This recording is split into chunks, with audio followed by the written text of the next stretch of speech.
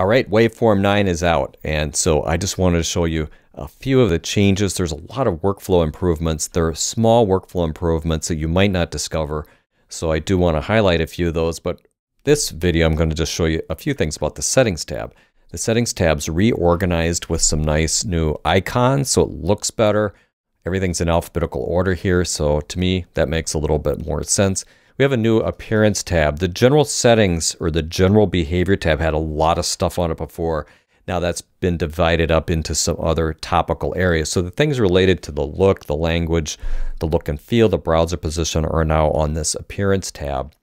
You've also got the MIDI note color settings, things here on nice sliders that you can uh, you can choose, and the clips and tracks you can choose whether you want to link the clip color to the track color that's another thing you've got available here.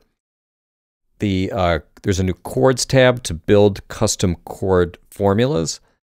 The downloads has its own tab now, where before you had to load this up from help, it's now available right here as a page.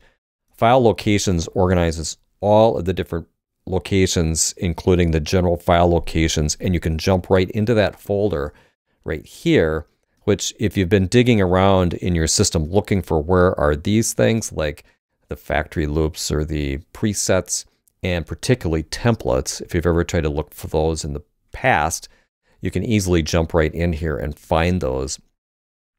Now, general behaviors simplified a little bit because some of the things are out of here, but the one I really want to show you is the keyboard shortcuts. This is completely reorganized. All of these things have been rename so that they make more sense. And you can search two ways in here. So if you want to search for what are the keyboard shortcuts that are possible related to zooming, you can just type the word zoom and do a keyword search. Now, the cool thing about this is there's new zooming behaviors. The zoom in fast, which uses the plus and minus. If you have an extended keypad, you can use plus and minus there. Or if you use shift plus and shift minus, which is basically the underline key, you can do fast zoom. So that the way that works, I'll just demonstrate it here. If you position the cursor, zoom in fast will take you deeper in than one zoom increment. Normally, if you hit the down arrow, normally the down arrow and up arrow will allow you to zoom in and out, but zoom in fast just multiplies that. So it just takes you a deeper increment. So a couple of zooms and you can get kind of right down into the waveform level. So if we're up at the top level, zoom, zoom, and we're right down into an area where we can do audio editing really quickly. It's a feature that I really like to use. I often set this up in various DAWs, and I've done this in, in uh, waveform before. So you can go from like this level, zoom, zoom, and you're right down to practically the sample level. I think that's great. Back to the settings tab.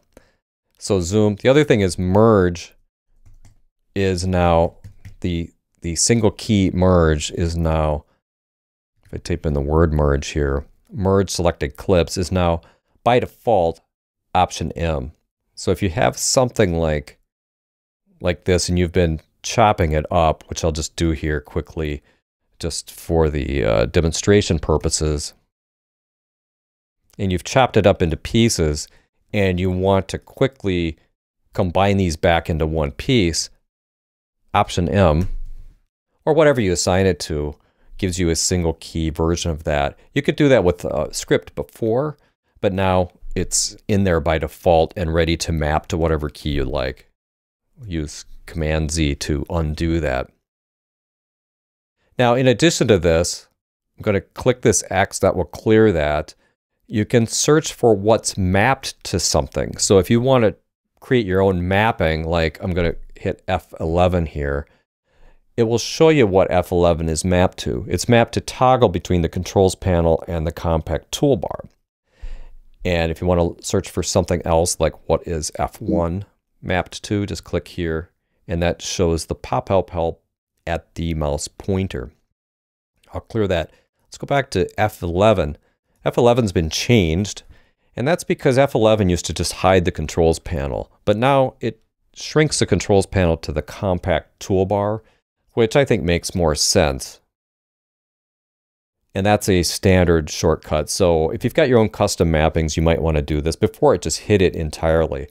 I would say most of the time you need the transport functions and things on there. So to me, it makes more sense to go when you're, if you want to create more vertical space on the screen to go to the compact toolbar rather than hide it entirely. You still can do that if you want, and you can do that by clicking this button here. That hides it entirely. But as long as you have that open, F11 will now take you back and forth between the compact toolbar and the full controls panel. And there's a few other convenient mappings that have been added in here as well to make it a, little bit easier, a little bit more complete. A lot of these things have also been renamed. There is the ability on the solo mute behavior to clear all the solo and mutes, and there's a keyboard shortcut from that. This is reset muted solo tracks. Uh, by default, that's Shift Option M. And you had some of these things muted and soloed and you have a large project and you have different things on or off, then Shift Option M just clears all those solo states with a single keyboard shortcut. That was something that's been requested to add, and that's now been added as a default. A lot of these things you could do with macros in the past, but now you can do them with some of the standard things. And I just think it's great that we have the ability to search within here. It just makes it so much more convenient.